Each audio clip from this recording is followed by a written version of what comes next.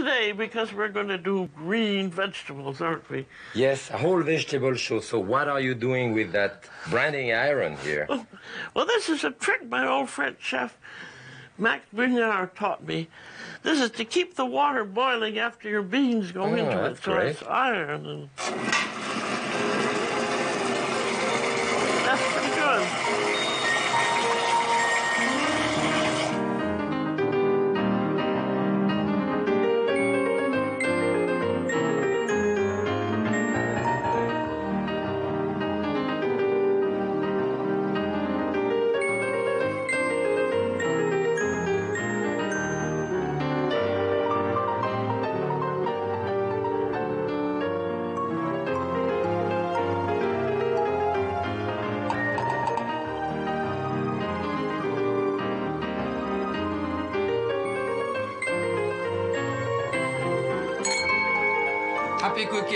cooking. Bon appetit.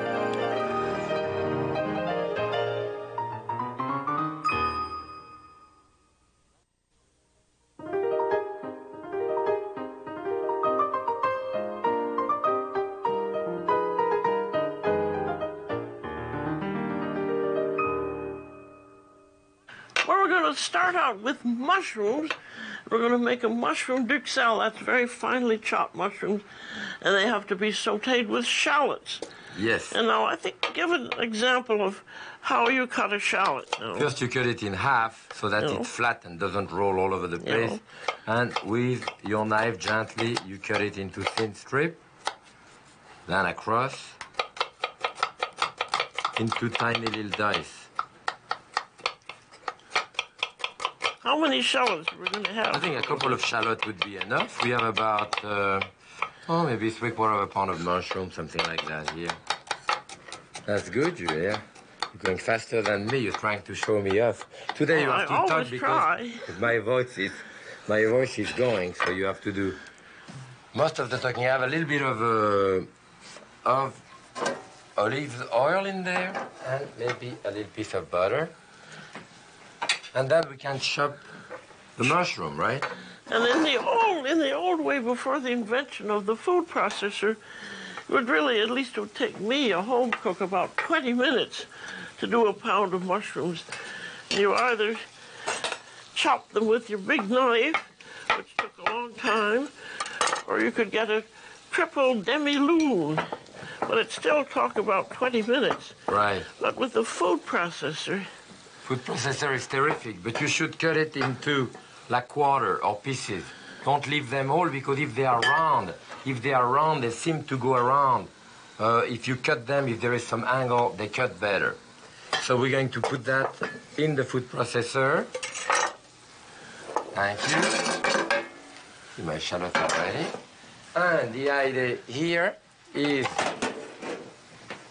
to put the lid on and to put a start, stop, start, stop, so that you don't have a layer on top, which is hard, and a layer in the bottom, which is like a puree. See, that's, that's working It. very nicely. Yeah. You just have to be awfully careful not to turn it into a puree or a mush. So here is our shallots. You press your mushroom, right? In some cases, you may want to squeeze the juice out, but you don't do. I don't do it now. No. I feel that if you cook them long enough, the extra juice that you have is going to evaporate and concentrate the taste. But by, of course, pressing the juice out of it, it goes a bit faster, as you don't have to evaporate it. Well, also, this is kind of the old-fashioned method. It's also good to have a large skillet. If you have a large skillet, you spread out, and it goes faster. Here, this is squeezing out the juice. Then you save that juice. You can put it in the, in any sauce. Save the juice and you put it back in the duxelle, no? No, we're okay. not. As the mushrooms start cooking, the juice come out of it, as you see, and it stops sizzling. It starts boiling. By the time it starts sizzling again, then it's fine. It's cooked. It ha- it's cooked when the pieces separate from Yeah. each other, isn't it? Yeah, that's true too. So now this will take a couple of minutes, and you want to season that with salt, pepper. So we continue cooking it. And maybe while this is cooking, we can start on the on the artichokes, right? Let's do that. Good. Okay. You know what? One time I was looking at you doing a demonstration and I learned how to take an artichoke bottom, to take the leaf out of it like you show by doing, by cutting this around You know. like this. Mm-hmm. I learned that from you and I always show that to the apprentice when you start, when you don't know how to do an artichoke bottom. That's one of the best way of doing it. Now notice it's very important here to break it and To break it. and pull it Because down. you Do one see- very slowly now. When you do this, you can look at this. It's like eating artichokes.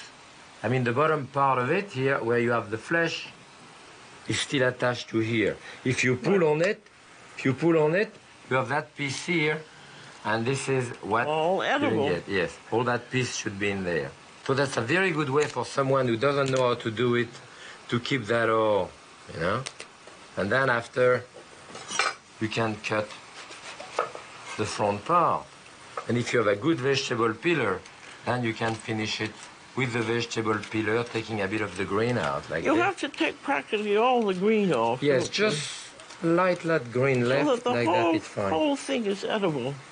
And then Well, we can trim take, the end you know, with the knife. And then you would rub Ready it with lemon cooked. too, wouldn't Yes. you?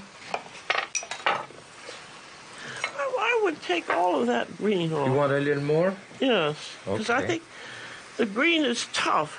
You know what I do too? I keep the stem and peel the stem Mm -hmm. That's all edible. this way. And I do artichoke bottom with it. And that's very good. Let me do another one like this with the knife. Oh yes, We go- very we go fast. faster with the knife by cutting all around. That's a good way to do too. And basically what, what I have done here is a cone, you know. But you cut conical. it far enough so that you haven't lost any of that. What I do also, I cut the end of it and up to the heart, and I even keep those.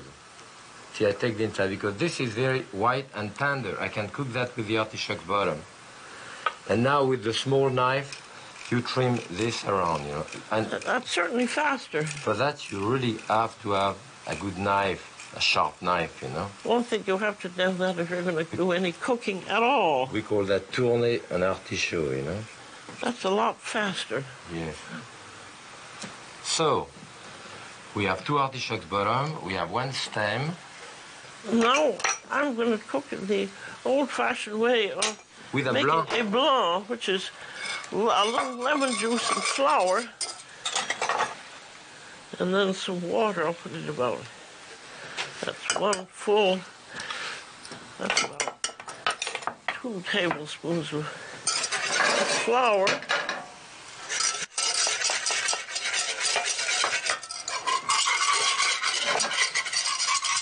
That's just to count, count to the boil with a little water in it. Cauliflowers used to be cooked in a blanc. Your uh, duxelle is it's browning, you can hear it sizzling now. But So, the pieces haven't come apart, so it's not ready yet. do you want to put a little bit of Madeira inside?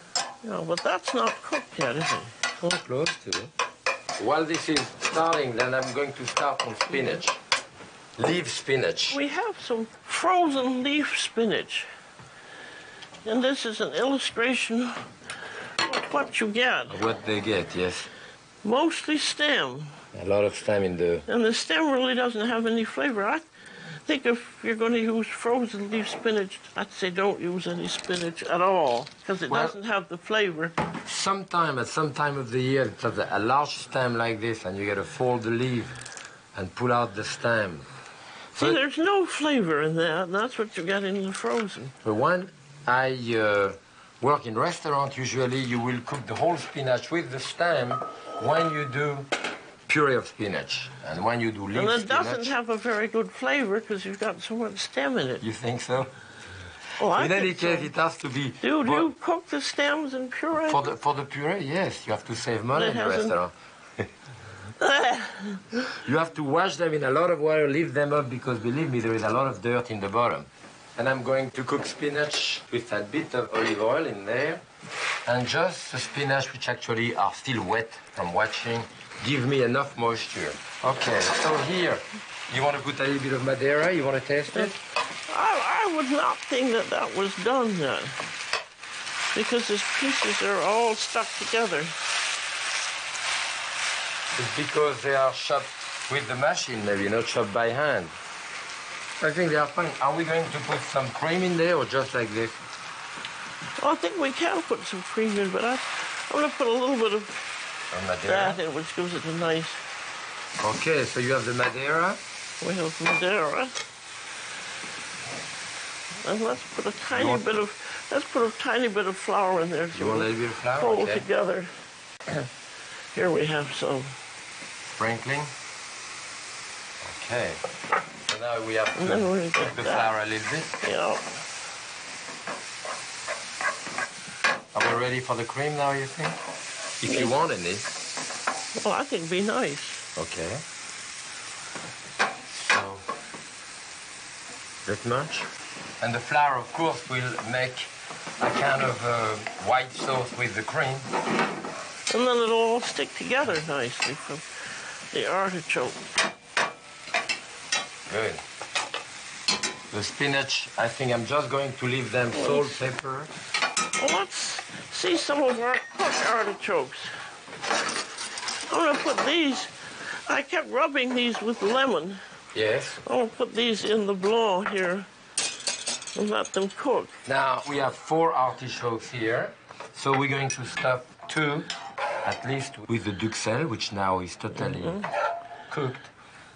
But And delicious. I tasted some. You tasted it, huh? Very, very good. shall we put a little bit of breadcrumb on top of this? Yes. And that goes into the oven. Mm-hmm. Now the other one, I have the spinach here. I put a little bit of Parmesan cheese inside. So I want to see if it's bitter or not. What do you think? It's not very tender. It's It not? tastes. It tastes okay. I think that old-fashioned way of Of boiling of it. boiling it and squeezing it. You get, I it- you get it tender and you don't get that slight bitterness. Hmm. But you will do it either way.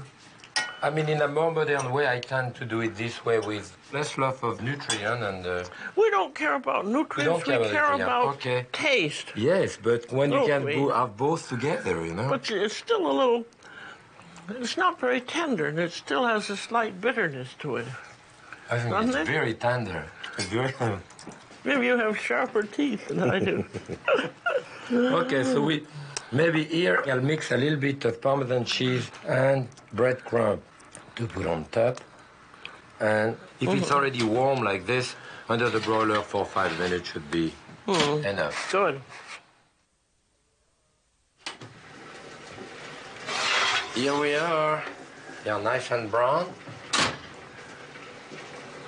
Those look very nice, Jacques. Yes. Those look I think that make a nice garnish. How Oh, are you? Are they lovely. cooked there? I think that's something that would be useful to know. Yes. Then the question, they are nice and white and tender. Yes, yes. and it, it Yes. goes through. And then you can also easily get the choke out. And when you get the choke out, you put them in a container back with the cooking liquid, and then you can keep them several days in the refrigerator and use them as receptacle, like a poached eggs, other type of thing, Yes, whenever it's needed. lovely with a poached egg, Yeah I love it with the poached egg, And yeah. a béarnaise sauce. And a béarnaise, yes. That's wonderful. Shall we go on to the To the string string beans? beans? I have some petit haricots verts, you know, the thin one. And you have some uh, of the bigger, actually, those look more tender, a paler green, you know. Then these are really quite expensive, aren't they? They are a bit more expensive, without any question. Yes, and you don't find them in many markets, actually. No. Usually, I know they used to be cooked in a lot of liquid. I cook them with very little liquid, as you can see here, so that by the time they finish cooking, uh, the liquid is practically evaporated. In fact, I don't even have salt in it. Then I cover it, which we were not supposed to do. Everything No. against the rule. No, we'll see how they turn out. Okay. Well, I'm going to do mine toward the rule. I've got these big, big ones, and I'll just take the little end off like that. Right. That's the longest part of it, is taking the end off. Get that part, you're right? Okay. Now, I'm going to have heavily boiling salted water. This is the more water, the better in this system. And then you'll have to hand me my poker. Oh, yes, that's right. Now, this is a system I learned from my old chef who used to work on the transatlantic steamers. And here it goes. right away. You see that? The idea here is the faster the water goes back to the boil, the greener the beans. And so these just have to cook until they're tender. It's just about four or five minutes. I do some sliced shallots. For mine, I'm going to cook sliced shallot. Well, mine are ready. And you can see I basically have no, no water. So, you know, I remove them and I know it was classic to put them in ice cold water to cool them off. If I have a large quantity, I still do it. But if I don't have too much, then I rather, I think I get more taste Well, out the of it. ice water is is if you want to do them ahead. That's true. Now Yeah. what I want to do here, I want to saute them directly in that pan now. So what I will do, put a little bit of olive oil there, maybe a dash of butter, and I have some sliced shallots here. Okay, and that's it. I want to saute the shallot maybe 30 seconds to a minute, add my string beans, salt and pepper, and that's it. So where are you? Okay. Where are you at? Well, I want to taste one. And just to be tender through, but with the slightest A slight crunch, bite, yes. according to Escoffier. Good. That's just done. Mm-hmm. I'm good.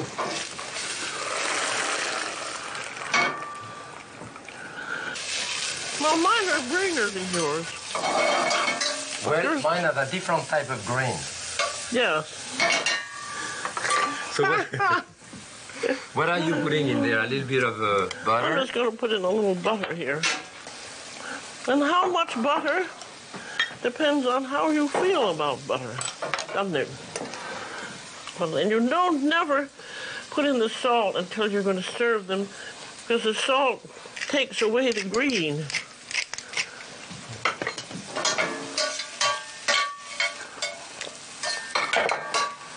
So, we have the spring beans with shallots here, haricot vert rather. This is a paler green, yes? You. Mm-hmm. But they were already paler when we started.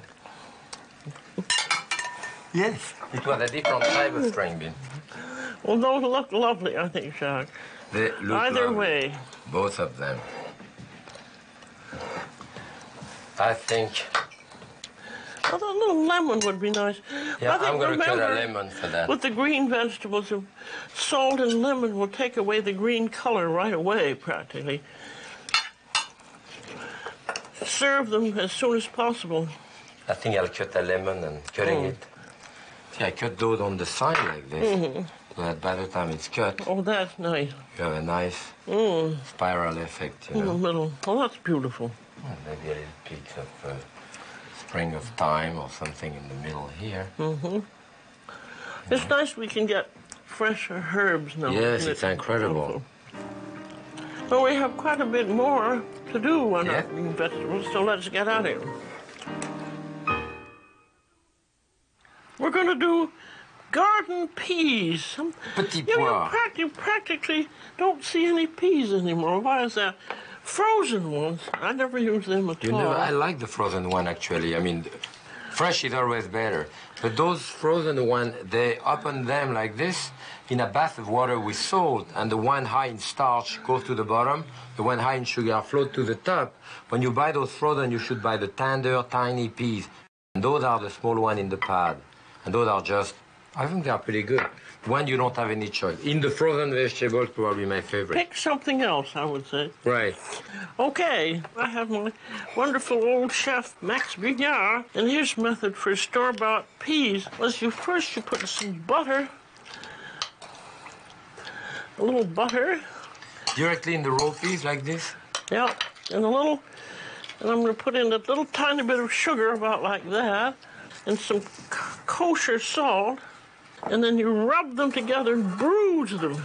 With the butter and all? with the butter with your with your bare hands Why would you want to bruise them? because it's, that's the way it, been mean that's, that's the recipe That's the recipe. and Good. it, and it really works. So while you're bruising your pea, I'll start mine. All right, you start And I have yours. about uh, two, two and a half cup of peas here. And I'm going to put tiny pearl onion, about two dozen of those. I'm going to put about a cup of water. I put some sugar in it, a tiny bit of sugar. I'm stealing some of your salt, That's okay. a tiny bit of salt and pepper. And I'm going to put a little piece of ham in it. And I like really that country type ham. You know, I have, this is a thick slice from the supermarket. I remove the fat here and cut that into, oh, about inch pieces, no, not even inch actually, maybe half inch. That's it. I That's kind of very good ham too, Petit isn't pois paysan, yes, mm-hmm. country style.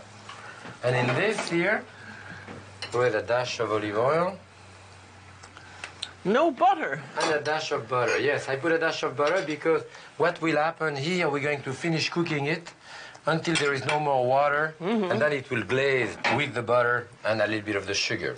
So theoretically, I cover that, and uh, then I cook that for about 8 10 minutes until it's tender. There's a Thank cover. you very much. All right.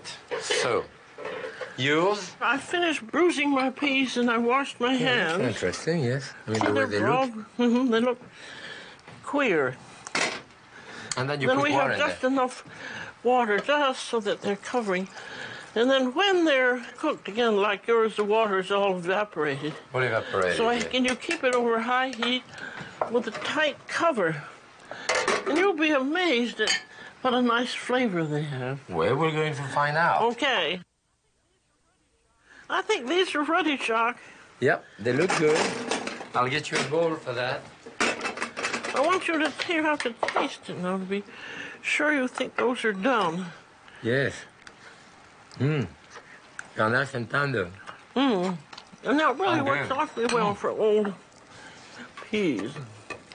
Beautiful fresh peas like this. Look at that. And enough. And the nice Mine- thing, doing it this way, you can do it a little bit ahead. And look at yours. Mine are cooked too. You see, there is Those basically no liquid left in the bottom of that pan. Just a little bit. So, this is what basically you want. And in a sense, you know, it's pretty similar to what we did. That good? Mm. Both very good. Mm. I think the ones that get beautiful, fresh vegetables, carefully cooked. They don't really need anything else. I love vegetable like this. Rather than often you go to a restaurant and they dip them in uh, in hot water. And they have no flavor. Right. Well, that's it for vegetables today. And happy cooking. And bon appetit. Have a good time.